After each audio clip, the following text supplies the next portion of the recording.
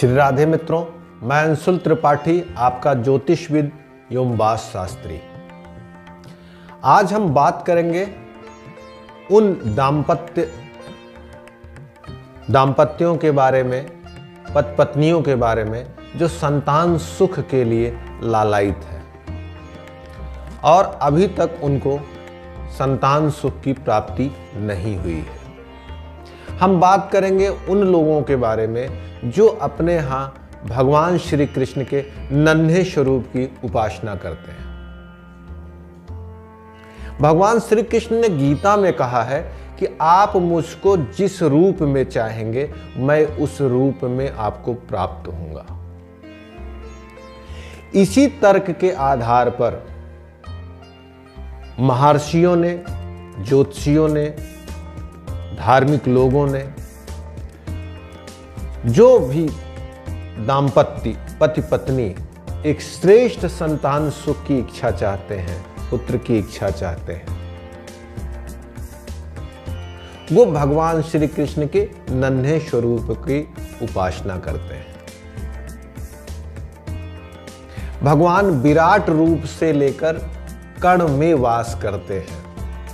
उन्होंने गीता में कहा कि आप मुझको जिस रूप में चाहेंगे, मैं उस रूप में आपको प्राप्त होऊँगा। इसीलिए जो भी पति पत्नी जो भी माँ बनने की इच्छुक नारी हैं, वो भगवान श्री कृष्ण के छोटे स्वरूप, बाल स्वरूप, लड्डू गोपाल स्वरूप को अपने घर में ले आए और उनकी पूजा करें। मैं यहाँ पर कुछ विशेष और कुछ हृदय गम्य विधा की चर्चा करूँगा, जिससे सब लोग आसानी से भगवान श्री कृष्ण के बाल स्वरूप की उपासना कर सकें। सबसे पहले भगवान श्री कृष्ण को कैसे प्राप्त करें? सबसे श्रेष्ठतम स्थिति हो, आप अपने किसी श्रेष्ठ या बड़े या गुरु से उसको गिफ्ट पाएँ। या उनके माध्यम से पाएँ, उनसे निवेदन कर सकते हैं या उनकी खुद इच्छा हो को आपको दें। और उनको प्राप्त करने का दिन विशेष थोड़ा सा श्रेष्ठ होना चाहिए। इसके लिए आप पंचांग में कोई शुभ मुहूर्त, कोई शुभ दिन देखकर ही प्राप्त करें। और भगवान श्री कृष्ण को ले आने से पहले एक बार ज़रूर आप ये कामना करें कि प्रभु आपको मैं ले चल रहा हूँ तो इस इस कार्य के लिए, इस इस स्थिति के लिए ले चल रहा हूँ। ये तो रही ले आने की बात।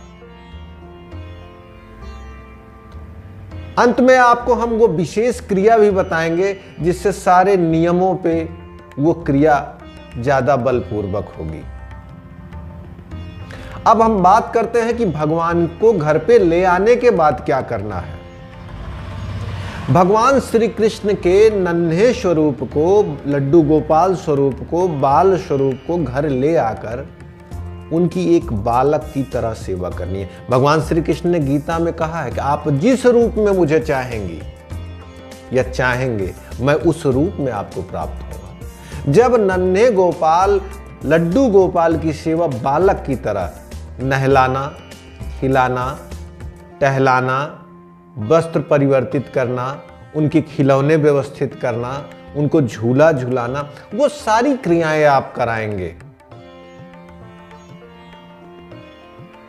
तो भगवान श्री कृष्ण आप पर प्रसन्न होंगे। और उन्होंने अपने मुख से कहा है कि मैं आपको उसी रूप में प्राप्त होऊँगा। मेरी बाड़ी या किसी की बाड़ी नहीं है यह स्वयं भगवान श्री कृष्ण की बाड़ी है। अतः इस पे कोई संदेह या प्रश्न की स्थिति ही नहीं बनती। आपको उसी रूप में प्राप्त होंगे। हाँ, उन्होंने कहा था कि पूर्ण चेतना से जब आप मुझको चाहेंगे, पूर्ण भाव से आप मुझे चाहेंगे तो मैं आपको अवश्य प्राप्त भगवान श्री कृष्ण के बाल स्वरूप को पसंद आने वाले भोग हम आपको बता देते हैं, मिश्री। माखन, मुनक्का, किशमिश, खीर, इन सब चीज़ों को आप भगवान श्री कृष्ण को समर्पित करें। उसमें तुलसी दल ज़रूर डालें। भगवान श्री कृष्ण को तुलसी दल बहुत प्रिय है। और भगवान श्री कृष्ण को ये सारी चीज़ें समर्पित जो भी महिला करे, इसका भोग अवश्य लगाए, स्वयं ज़रूर प्रसाद प्राप्त करे। भगवान श्री कृष्ण इन भोगों से प्रसन्न होते हैं और आपकी मनोकामना पूर्ण करके आपके घर पे आते हैं। कोशिश करिए कि भगवान के वस्त्र को नवीनतम चमकीले और परिवर्तित करते रहिए, जिससे आपके लड्डू गोपाल सुंदर लगे। और मौसम के अनुसार उनके वस्त्रों को परिवर्तित करते रहिए। मौसम अनुरूप उनके जल के तापमान को नियंत्रित करिए। ठंडी के मौसम में गर्म पानी से स्नान कराएँ। घर में बालक को अकेले नहीं छोड़ना चाहिए। जब यात्रा पे कहीं जाएँ तो उनको अपने साथ लेके जाएँ।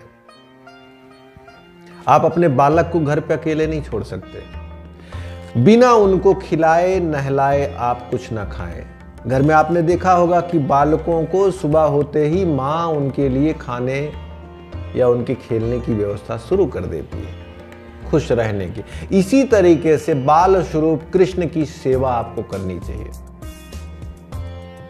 इस सेवा का लक्ष्य इतना है कि जितना आप सेवा में संलग्न होंगे प्रभु के प्रति आपका मनोभाव उतना गहरा होगा।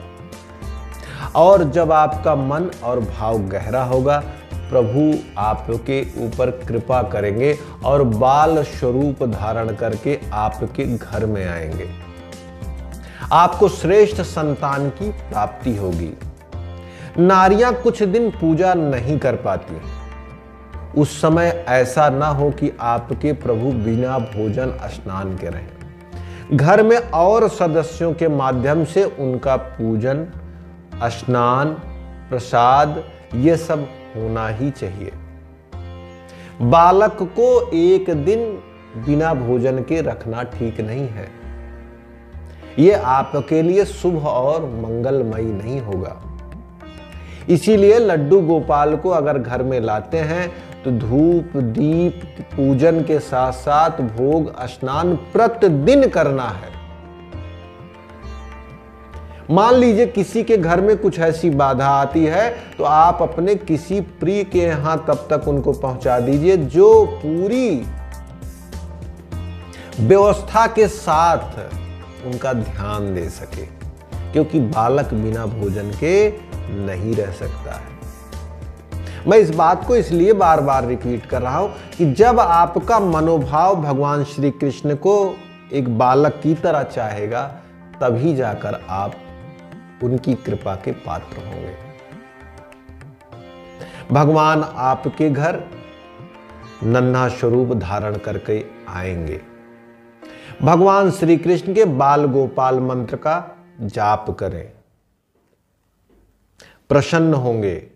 आप उनकी संपूर्ण विधा से पूजन करें। हाँ, अगर आप सक्षम नहीं हैं, मान लीजिए आपके पास भोग या वस्त्र की उचित व्यवस्था नहीं होती है तो प्रभु को वस्त्र की जगह हल्दी लगी हुई रुई आप समर्पित कर सकते हैं। भोग के लिए कुछ ना मिले तो तुलसी दल ही समर्पित कर सकते हैं। उनके स्नान के जल को आप स्वयं धारण करें, पिए, आपके लिए शुभ होगा।